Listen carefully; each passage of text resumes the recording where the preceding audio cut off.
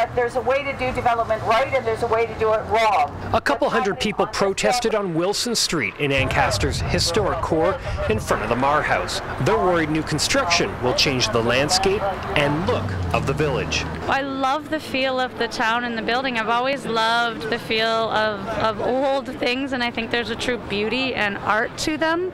The stone house was built back in 1840, and while the owners and businesses have changed a few times in the past 180 years, the outside hasn't aged much. I think they're absolutely they're gorgeous, eh? and the things that we should we should preserve, you know, for future generations to for them to remember. The land is now owned by a developer, which means this property could be turned into condos. Wilson Street is a cultural heritage landscape. Uh, which means that it should be protected. If and when this land gets redeveloped, it's not like the building is just going to be demolished. It'll actually be moved back around 300 feet, but some are worried that could damage the integrity of the building. Well, there'll be a new foundation prepared at the expense of the developer. They will move it over at their expense and they will restore it to its original glory. The building actually sits on contaminated land because of a former gas station that was next door.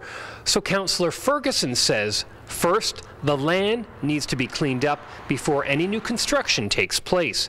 But even with new development, this old beauty will stay. Their intent is to use it as a clubhouse for the condominium corporation. There are 18 conditions or requirements, you could call them, that the developer has to meet to get approval for this move. Nothing can happen on site until the conditions are met. They include a consultation with a structural engineer and to submit a new survey to the city. What we would like to see is that any development that comes in here, that it be consistent with the context uh, that already exists here. Be patient and we'll look after it. We'll make sure it's done right. And if this land is redeveloped into condos or townhomes, it's still a number of years away before construction even starts. Sean Cowan, CHCH News, Ancaster.